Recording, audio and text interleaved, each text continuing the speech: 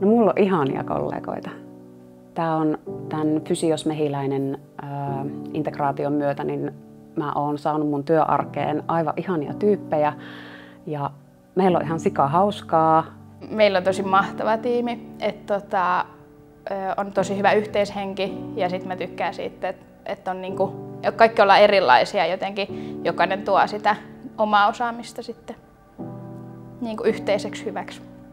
Kun tulen töihin, niin mä annan niin kuin kaikkeni sille, että mulla on tyytyväiset asiakkaat, tyytyväiset työkaverit. Mä koen, että merkityksellisyys tässä työssä on se lasten ja nuorten kanssa yhdessä tekeminen ja saisi heille semmoisia positiivisia kokemuksia, onnistumisia ja myös annettaisiin niinku tilaa niille tunteille, tuntea niitä ja käydä niitä läpi yhdessä. Ne pienet hetket, kun saa semmoisen vaikeasti vammaisen lapsen kontaktiin ja vuorovaikutukseen ja sitten ennen kaikkea kun se onnistuu niin hänelle läheisten henkilöiden kanssa, niin se niin korostuu se tärkeys itsellä siinä työssä.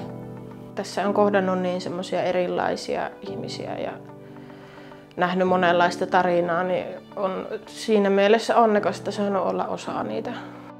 Tavallaan saadaan olla tässä työssä sitten vaikuttamassa siihen ihmisen elämään ja sillä voi olla niin kuin hänelle tosi iso merkitys ja se kun se on hänelle iso merkitys, niin silloin se tuo myös mulle sen merkityksen, että mä oon voinut olla vaikuttamassa ehkä parempaan jonkun ihmisen elämässä.